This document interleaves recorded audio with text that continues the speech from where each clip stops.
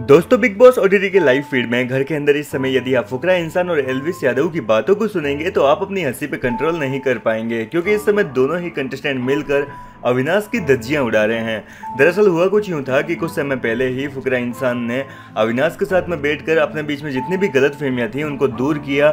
जो भी लड़ाई झगड़ा था दोनों के बीच में, टास्क के दौरान जो बीते दिन घर के अंदर झगड़ा हुआ था, उसको शॉर्ट आउट कर लिया और एक दूसरे के साथ गले मिलकर सारी बातों को वहीं पर गाड़ दिया। यानी कि अब उनके बीच में जो भी गलत फहमियाँ थी, वो दूर हो चुकी है और एक नई शुरुआत कर रहे हैं। और ये सारी बातें गार्डन एरिया में आने के बाद में फुकरा इंसान ने एलविस को बताई और एलविस को बताया कि अविनाश से क्या क्या बातें हुई। इस दौरान फुकरा इंसान ने एलविस को बताया कि मैंने उसको टास्क में जो गधा बोला था ना, उस बात से उसका मुँह फूला हुआ था, उस बात से वो नाराज़ हो गया था। ये सुनकर एलविस को हँसी आ गई और एलविस ने कहा कि साले को गधे को गधा बोलकर तुम गधे की बेजती कर रहे हो। गधा तो मेहनती होता है, पर ये तो सारा दिन भर पड़ा रहता है। इसलिए गधा बोलकर गधे की बेइज्जती मत करो, ये तो सारा खच्चर है, खच्चर।